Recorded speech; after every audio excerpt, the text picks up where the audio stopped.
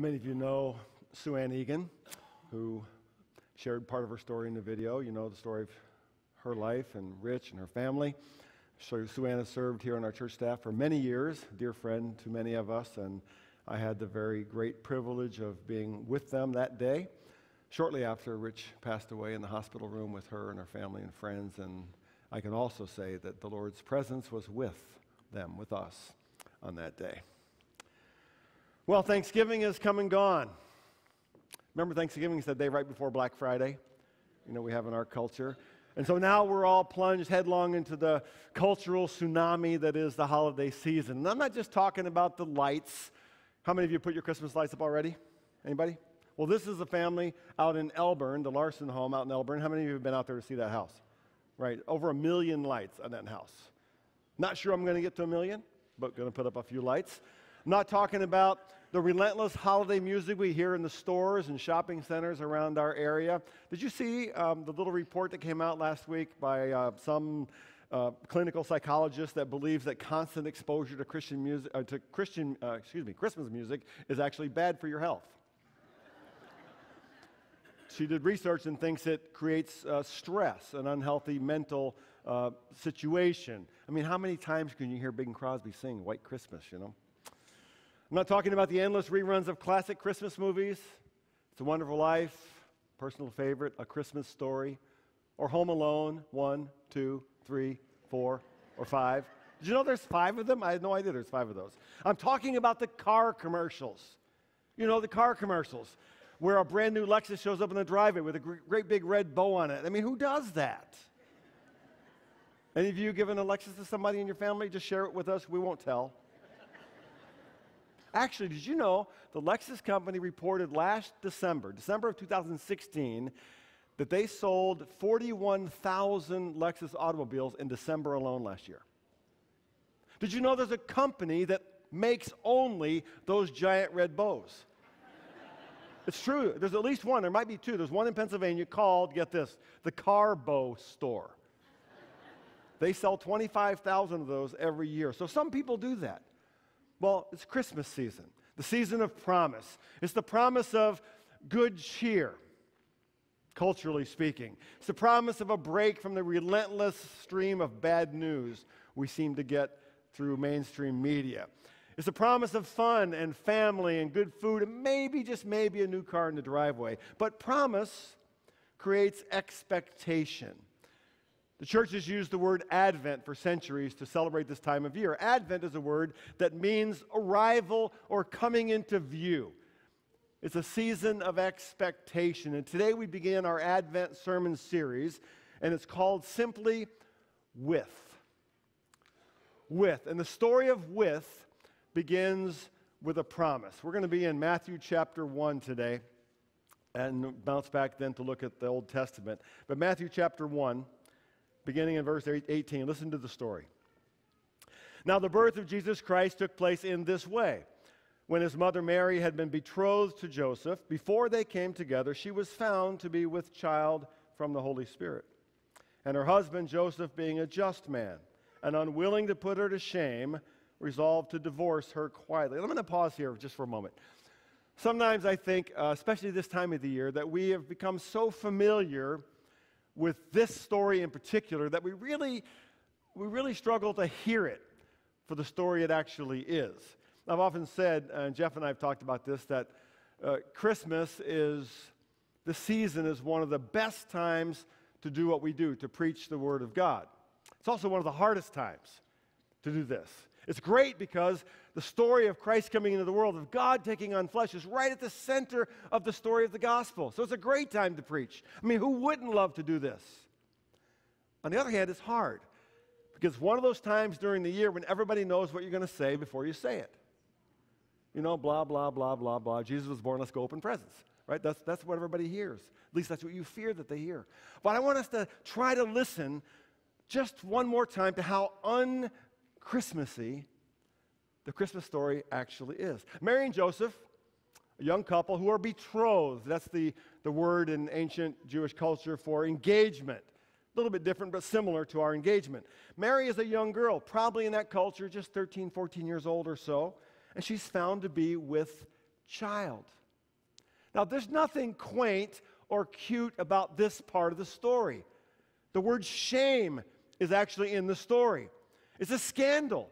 Their families were being publicly shamed. You didn't do that in ancient Israel. This is more like a nightmare for Joseph. I mean, Nazareth, the small town where they lived, was a, was a tiny town, much smaller than the towns we live in today, maybe a few hundred people. And in small towns, people know and people talk. You don't have to have much of imagination to, to understand what was happening and what people were saying in that small town. Have you heard? Did you hear? Did you see? Mary's expecting. I heard that Joseph's not even the father. Who could ever believe she would do something like that? He's such a good man. Who would ever imagine? We live in a world full of gossip columns and tabloid headlines. But you know, the truth is, human beings haven't changed much in 2,000 years. Technology changes, but human beings don't change that much. There was a lot of talk going on, a lot of innuendo, a lot of accusation. Joseph had to have heard the whispers. He saw how people turned their heads and turned away. He knows his life is turned upside down. He's got to find a way out of this mess. Verse 20. But as he considered these things, behold, an angel of the Lord appeared to him in a dream, saying, Joseph, son of David, do not fear to take Mary as your wife, for that which is conceived in her is from the Holy Spirit. She will bear a son, and you shall call his name Jesus, for he will save his people from their sins. All this took place to fulfill what the Lord had spoken by the prophet. Behold, the virgin shall conceive and bear a son, and they shall call his name Immanuel, which means God with us. When Joseph woke from the sleep, he did as the angel of the Lord commanded him. He took his wife, but he knew her not until she had given birth to a son, and he called his name Jesus. So, right in the midst of this broken, stress filled, messed up story, comes a promise. A promise that actually is in three parts. We'll look at them today. First, we see the promise of a son. There's the promise of a son. I don't think it's an overstatement. I think each of the sets of parents that were up here this morning would agree. It's not an overstatement to say that the birth of a child holds a kind of infinite promise.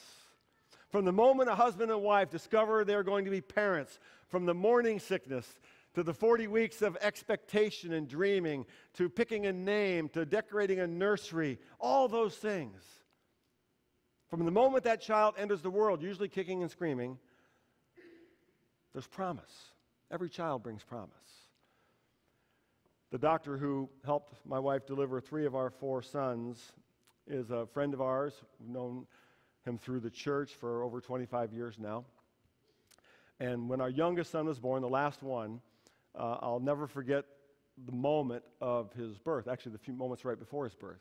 Um, uh, my wife was tired, it had been a long process. Our doctor, Dr. James Lee, was, was there helping us, and there was a moment of crisis. There was a complication right, right toward the end of the process, and we became concerned that the baby was under great stress. I didn't know what to do. I felt helpless, scared, fearful, but the doctor knew what to do. James knew what to do. And the baby was born, healthy, and I was weeping, my wife's weeping, because you can't help it. You just are. And then our doctor turned around, a doctor who has delivered thousands of babies, thousands. He looked up at me and he was weeping. Tears rolling down his cheeks. He said, Every one is a miracle. Every one is a miracle.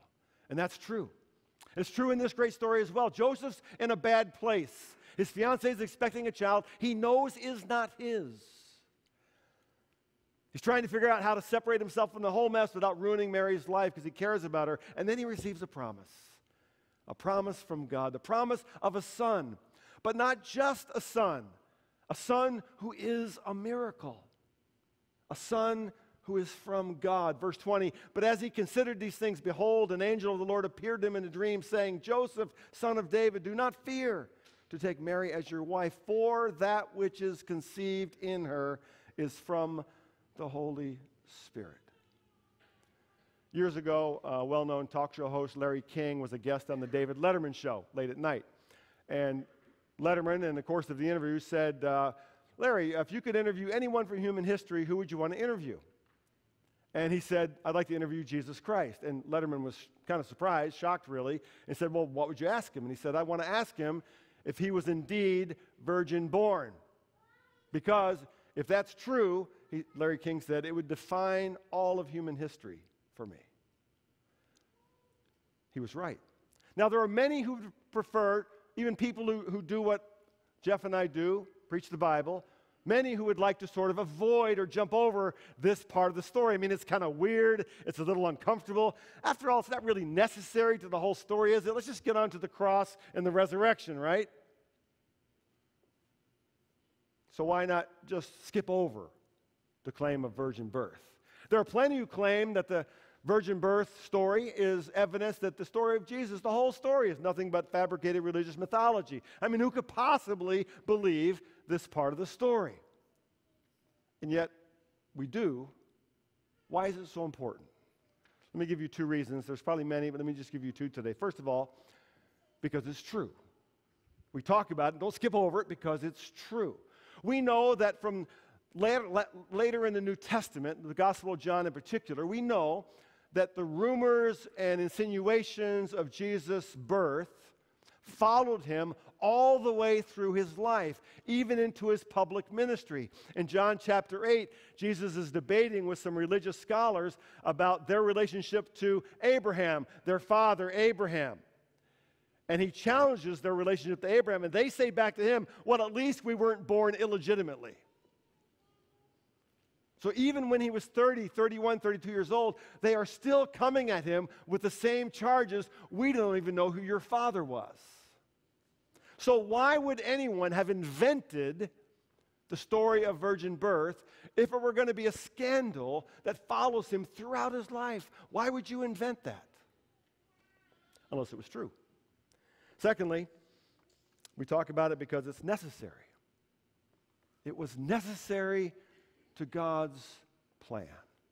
If the problem of human sin is what the Bible says it is, we'll talk about sin in just a moment. If the religious system of ritual sacrifice was insufficient, and if you were with us the last couple of months, you know we talked all the way through the book of Hebrews, telling us that all those ancient sacrifices just led up to a final sacrifice, that they were insufficient. The blood of animals was insufficient to cover and redeem human sin. If that's so, then God was going to have to provide a different, better sacrifice by his own flesh, by his own blood. So Matthew's making it clear right off the bat that this is no ordinary son. Mary is with child by the Holy Spirit of God, and therefore the child she carries is God Himself. One theologian put it this way the incarnation of Jesus is the central fact of Christianity. The whole of Christianity is predicated on the fact that Jesus is God in human flesh, and that's made clear at the very birth of Christ. But how can we believe such a crazy claim? Let me give you again two reasons. The simplest reason to believe that this is true is that if the Bible begins way back in the book of Genesis, chapter 1, by saying, God created the heavens and the earth by speaking them into existence. He creates out of nothing everything that exists. And if later in the Bible, in the Gospels, it tells us that God raised Jesus from the dead, then virgin birth is really small potatoes compared to those things, right? But if you need a little bit more, if you still have questions, you wrestle with these sorts of things, maybe think about it this way. In 1978, the world's first so called test tube baby was born, a woman named Louise Brown in Great Britain. Today, we call the whole process in vitro fertilization, IVF, a kind of miraculous medical process by which a baby is conceived without a mother and father ever even needing to touch each other. Today, some 70,000 children are born by IVF in the U.S. alone every year. So, to me, it really comes down to a question of technology, right? So if we believe in a God who's able to create everything from nothing and able to raise the dead, we're, we're talking about a God who is not limited in his technology. So, yes, this story is a scandal. Story of virgin birth is a scandal, but not a scandal of immorality. It's a scandal that God has done something unimaginable, is doing something outrageous and scandalous, that God is coming in human flesh and doing so through the promise of a son. That's the first promise. There's a second promise. This one is that Jesus will save, the promise that Jesus will save. I'm sure most of you saw the news story just last week that Charles Manson died in a prison hospital at the age of 83. Did you see that story? I have a feeling this might be the first ever Advent sermon that mentions Charles Manson in it. But he was one of the more infamous um, and evil criminals in American history. No need to rehash his sordid story here, but I do want to talk about someone else. Do you know the story of Charles Tex Watson? Interesting story. Charles Watson was 23 years old, a college dropout, and a member of the Manson family. He participated in the 1969 murders of at least seven people, was convicted, and sentenced to death. That sentence was eventually commuted to life sentence because California eliminated the death penalty. And you would think that would be the end of the sad, drug addled, and violent life of Charles Watson. But it's not. Charles Watson eventually heard the gospel in prison, surrendered his life to Christ in 1975, and for the last 42 years has led a prison ministry called Abounding in Love. He eventually wrote a book entitled Will You Die for Me? Which is a personal testimony of how Jesus transformed his life. Watson became an ordained minister in 1981 and today serves as a pastor in prison. Now, you can check out his website, Abounding in Love. You can find it on the internet. He accepts complete responsibility for his crimes and for the punishment the state of California levied on his life. He's been denied parole 17 times, the last time in 2016, and will likely die in prison.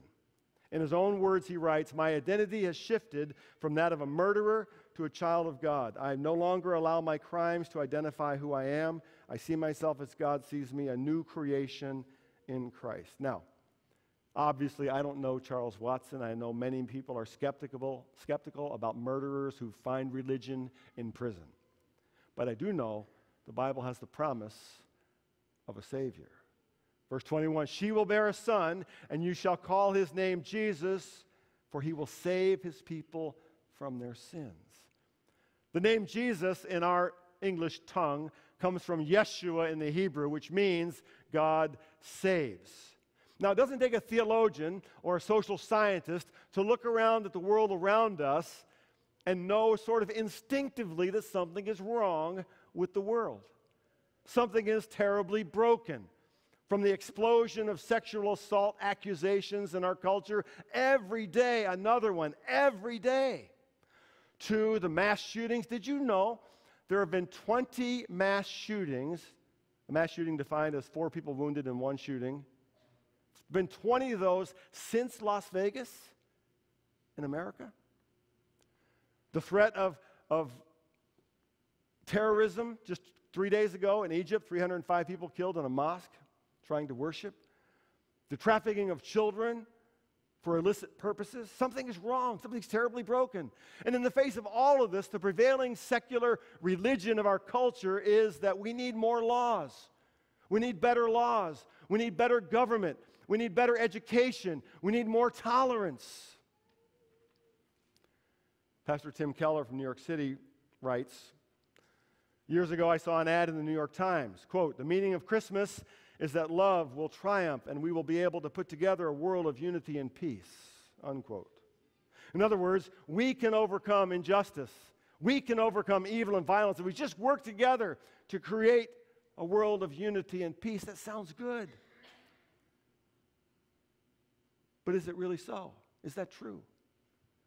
What if we turn our eyes instead from the world around us to the world within us? If we do that, we see something's broken there too. We see things like pride and greed and envy and lust, regret, remorse, guilt, words spoken, words left unspoken, relationships broken, strained, filled with anger and pain. Hear this the message of Christmas is not we can make the world a better place if we just try a little harder. It's not the message of Christmas. The message of Christmas is in the words of the prophet Isaiah the people walking in darkness have seen a great light. Those living in the land of deep darkness, a light has dawned. The birth of Christ means that we are so lost. Humanity is so broken, so unable to save ourselves that nothing short of the death of God Himself could redeem us and save us. That's the promise that Jesus will save. And that promise matters because sin matters. It's real. We know what it is and it destroys. The Apostle Paul speaks for all of us in Romans chapter 7 when he writes, For I do not understand my own actions. I do not do as I want, but I do the very thing I hate. For I do not, do not do the good I want, but the evil I do not want is what I keep on doing. Now, if I do not do what I want, it is sin that dwells within me. Wretched man that I am, who will deliver me from this body of death? God promises a son. And then he promises that that son will save his people from their sins. That's what the story is about. But there's a third promise in the story, and that's the promise of Immanuel. The promise of Immanuel. Pick it up in verse 22. All this took place to fulfill what the Lord has spoken by the prophet. Behold, the virgin will conceive and bear a son, and they shall call his name Immanuel, which means God with us. When Joseph woke from sleep, he did as the angel of the Lord commanded him and took his wife. But he knew her not until she had given birth to a son, and he called his name Jesus. I want you to notice here that Matthew is quoting from the Old Testament. In verse 23, it's a direct lift out of Isaiah chapter 7. 14 that says, Therefore, the Lord himself will give you a sign. Behold, the virgin shall conceive and bear a son and call his name Immanuel. Now, a little refresher on Isaiah. Isaiah was a prophet, what we might call a preacher, living in Jerusalem roughly 700 years before the birth of Christ. And he was prophesying, preaching at a time when the people of Jerusalem were terrified. It was a terrible time for them. Why? Well, because the Assyrians, the great world power under ruthless rulers like Tiglath-Pileser III, He's a real guy, by the way. Look him up in the history books. He was waging war all over that part of the world. He had already sacked the northern kingdom of Israel, and he was on his way south to destroy their entire way of life, their entire religion, and their entire culture. And they knew he was coming and they couldn't stop him. So they were terrified. So through the prophet Isaiah, God is giving his people a promise. He would not abandon them. God would come to them in the form of Immanuel. The word in Hebrew means God with us. It was eventually understood to mean the promised Messiah. Now, the Jews believed the Messiah was going to be a man who came in the form of King David to rule and lead their people back into prosperity and peace by defeating all their enemies. They're thinking, great, God's going to send us help. He's promised. He's going to be with us. He's going to save us from the Assyrians. But that promise, the promise of Messiah, was not fulfilled right away. Months went by, years went by, decades went by, centuries went by. Here's a question What happens to a promise when we have to wait? What happens to a promise when we have to wait? After a day, we might get impatient. If you have children, you know what that means. After a week, we might get a little irritated. After a month, we might start to lose hope and whoever gave the promise. After a year, after a decade, how about a century? Maybe God doesn't keep his promises. Maybe God is not able to keep his promises. Maybe there is no God. Some of you may know what that feels like. To pray and pray and pray and wait and wait and wait and hope, and you're wondering does God keep his promises? And then, after 700 years, in the most unusual and unexpected way, to an unsuspecting man who feels like his world is falling apart, there comes a promise. The promise of a son, one who will save, one who is Immanuel, God with us. Now, here's what all this means it means that when Jesus was born, God kept a 700 year old promise. When Jesus was born, God came to us to be with us. He didn't come in blinding glory, He didn't come with overwhelming pomp and power. He came through an unwed teenage mother and a confused adoptive father. He came to a backwater province of the Roman Empire, as far from the seat of political and economic power as you can possibly imagine. God saw the brokenness of the world, the same brokenness we see around us every day. And rather than condemn the world, rather than destroy the world, he entered into that world. He entered into all of that world, into its brokenness and violence and evil and pain. And here's the point if the God of the universe would go that far to come into this world, would he not go that far to come into your world, into your personal world? See, Jesus is the God who is with us. Jesus is the God who comes. He's the God who comes into the mess and stress of pain of this life. He's the God who comes to where we are, to where we live. My mom and dad were able to visit for just a couple days over Thanksgiving. My mom's 87, my dad's 84. Blessed to still have them around. My father was born in 1933, the youngest of six children in post Depression America. His father died when he was just five years old, leaving almost nothing for a family that struggled to survive no insurance, no business, no nothing. He remembers very little about that time in his life because it was very, very sad. He does remember that in the summer after his father died, which his father died right about this time in the year, the following summer when school was out, she sent him to live with relatives that lived on a, a country farm a ways away from their home, their home. He now knows she did that so he could make, she could make sure he was fed all summer long because she couldn't take care of all her kids. But he didn't know that then. He was six years old, alone, away from his family, with people he barely knew, doing chores on a farm, terribly lonely. You see, he remembers after finishing his chores every day, he would go out and sit by the country road that ran by this farm. And the reason he did that at six years old, because he knew his older brother, Bill, who was 18 at the time, and was driving a milk truck. And he hoped that maybe his brother would drive by on that road and wave to him, and he would feel less alone. He didn't know his brother's milk truck was way, way far, his, his route was way far away. So all summer long, he sat out there, and his brother never drove by. But when my dad was 15, he got invited to a Methodist revival meeting by some buddies on his football team. And that night, Jesus came to him. And if you ask my dad today, he would say from that moment on, he was never alone again. And that's been 70 years. This is where the story begins the story of with because it's the promise of a son, it's the promise of a Savior, it's the promise of a God who is with, who is with us. Would you bow with me as I close today? Lord, how we thank you today for your word, for your promise. And help us to hear the great story as if for the first time, not just with our ears, not even just with our minds, but with our hearts and that we, we may know you as the God who is with. We pray these things in Jesus' name. Amen. As you leave the sanctuary today, take time to stop by the kiosk out there, pick up your Together at Christmas magazine, your ornament for your family. We'd love to have you do that as well. Receive now the benediction. May we go now in the name of Jesus, who saves us from our sin and who is Immanuel, the God who is with us.